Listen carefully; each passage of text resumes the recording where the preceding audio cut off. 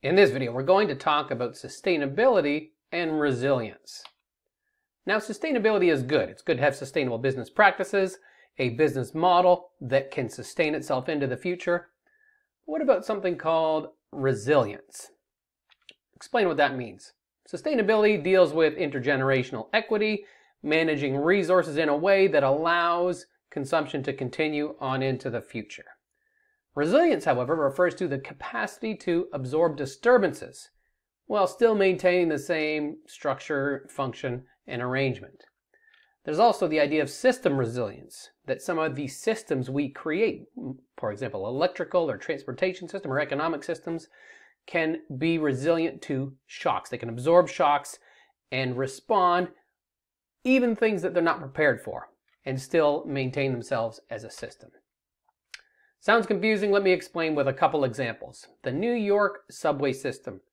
New York is one of the most sustainable cities in the world because of the low carbon footprint. People use public transportation predominantly. So there's not a lot of single vehicle trips compared to other jurisdictions, especially when you get out into suburban and rural areas.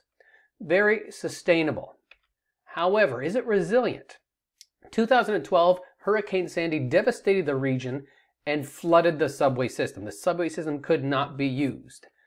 Then what? Well, there wasn't really a redundancy. There wasn't really something else that could be done. The system could not respond to this shock. People were forced to try and get around through a, a patchwork system of buses and walking and other ways of getting around. The system could not sustain itself in the midst of this shock and disturbance. So, is it a sustainable system? You bet it is manages resources effectively and reduces, in, in this case, CO2 emissions compared to other jurisdictions, but it's not resilient. It was not able to absorb this disturbance while still remain, maintaining its function, and the whole system was not capable of responding to shocks like this. It was they were really scrambling, officials in New York, to try and figure out ways to move people around in the absence of their subway system. Now, a slightly different example Texas. The state of Texas had a huge winter storm in 2021.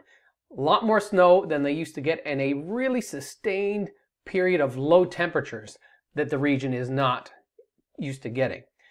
It caused electrical blackouts throughout many parts of the state. So people were without electricity um, for days. Now, when we think about the Texas power grid, it's actually pretty diversified. They get some from natural gas baseload generation from natural gas, some nuclear and coal as well, that can be, a coal for example, can be scaled, and wind, almost a quarter from wind power. So if one of these experienced a disruption, like maybe high prices or supply issues, the other inputs could adjust. It's something that can deal with one of these inputs getting interrupted, so supply scarcity or, pr or price shocks. However, the actual infrastructure for moving it around could not cope with cold temperatures.